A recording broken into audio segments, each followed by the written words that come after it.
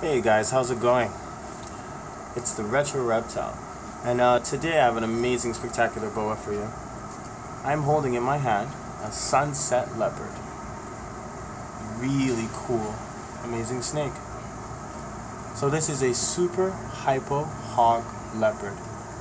This is a world's first, produced 2018.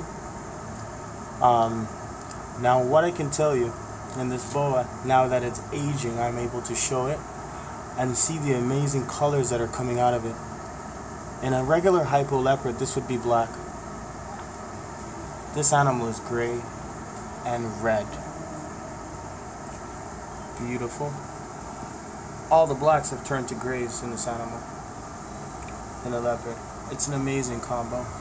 And uh, I'm still waiting to, of course, put uh, a name on it. Um, I love the comments and likes, guys. Uh, to the be to the best. Um, I'm gonna try to continue to work with this animal, and of course, bring out that color. And this is the video that you all deserve. Thank you.